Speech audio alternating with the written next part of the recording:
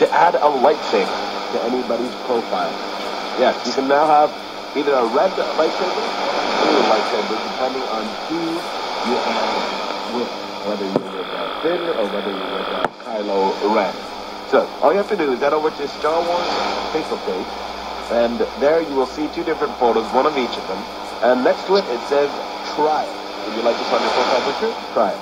Click Try It button, located below the movie poster, just above the comment section. You can also switch between lightsabers by clicking the Star Wars logo icon next to your photo. Now, hover the mouse and drag your photo to reposition the, right, the lightsaber to your liking, and in the lower right corner, choose when you'd like Facebook to automatically remove the lightsaber and restore your photo to normal. Your options include one hour, one day, and one week. You can also choose the never option to keep the filter for as long as you like.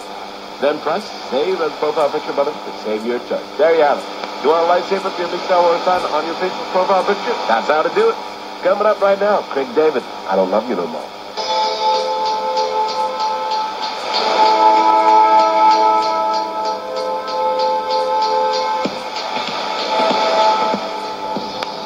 All right, all right. I'm yelling, yo.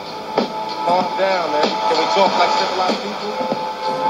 I can't take this no more.